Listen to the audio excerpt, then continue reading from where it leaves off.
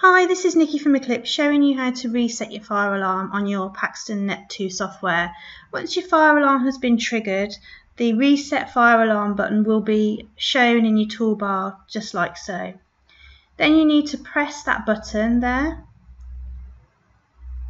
and underneath you'll find the areas that you need to reset. Just tick the box, select OK and all done. It's really important you do this because every door that's attached to your fire alarm will remain open on Paxton until you actually reset your fire alarm.